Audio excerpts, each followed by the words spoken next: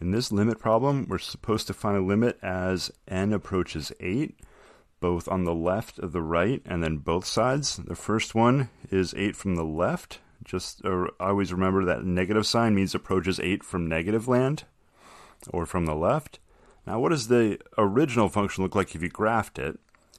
Uh, this is a square root function, but it does have a horizontal shift. The minus 8 moves it 8 to the right. So it's a square root function that looks like this shifted 8 to the right, so that x value is 8. And this question is asking us what is the limit as n approaches this number 8, both on the left and right. So if I just draw this much bigger, I'm just going to zoom in on that area. Here's 8. And our graph looks like that. All right, if we approach from the right, which is the second one, if we look at this here in green, we're going along the curve from the right side, so we're going down this direction. And what y value do we get close to? When x gets close to 8, the y value is approaching the x-axis, or y equals 0.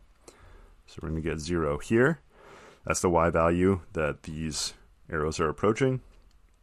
Now, if we try to go from the other side, approach, so we just approached 8 from the right side, from positive land. Now we're going to approach 8 from the left side, but we have a serious problem.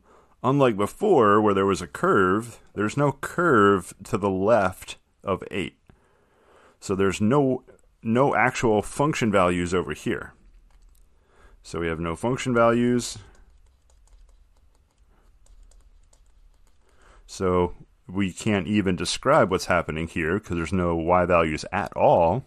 So we say this limit does not exist. dne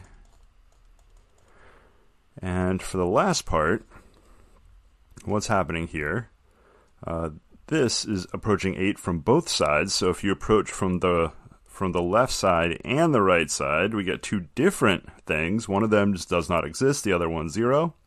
And whenever the one-sided limits do not agree when you get something different, then the two-sided limit, this one, does not exist. So as soon as one of them did not exist, then the regular two-sided limit does not exist also.